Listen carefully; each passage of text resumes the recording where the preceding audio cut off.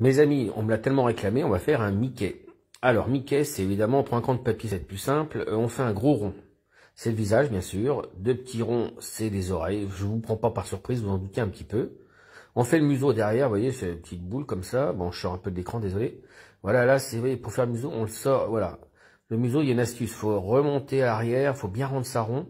C'est pour ça que le camp de papier, allez-y, vous voyez, n'hésitez pas à repasser plusieurs fois sur votre trait en appuyant pas fort, vous voyez. Et là, la, bouche est en dessous et on fait un retrait. Voyez, comme ça, on peut tourner autour du rond initial. On est à l'aise. Les yeux, bon, bah, c'est évidemment, c'est rien. Les yeux, c'est très facile.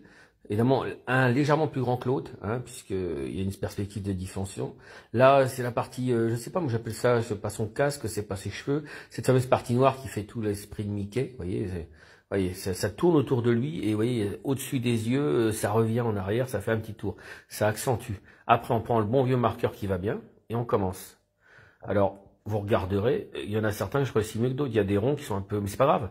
On va le colorier dedans, voyez. Donc, hop, voilà. Je prends un marqueur épais, moi. Voilà.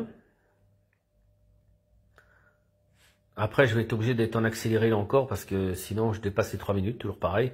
Mais j'accélère juste pour la partie euh, euh, mise en noir, donc c'est c'est pas gênant. Vous voyez la bouche, toujours pareil, c'est deux petits ponts, deux petits ponts, deux petites collines. Et après, on, colorie l'intérieur. Et hop, vous avez tout de suite une bouche avec la langue. Et encore, je l'ai un petit peu, ouais, je l'ai pas trop réussi.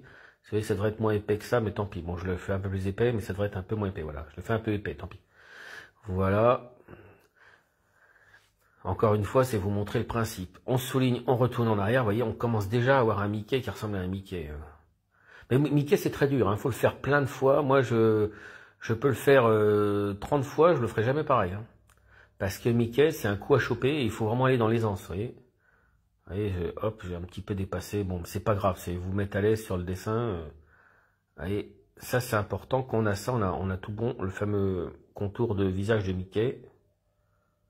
Après, on met le noir. C'est là que je vais accélérer parce que sinon, ça va être... Euh, ennuyeux comme la pluie, voilà, tac, tac, tac, blablabla, voilà, je parle vite, mais je suis pas en accéléré au niveau de la voix quand même, voilà, voilà, et là, vous avez déjà votre Mickey, c'est sûr, entraînez-vous Mickey, c'est un personnage qui mérite qu'on le fasse plusieurs fois pour y arriver, des dizaines de fois même, voilà, un petit Mickey, plus vrai que nature,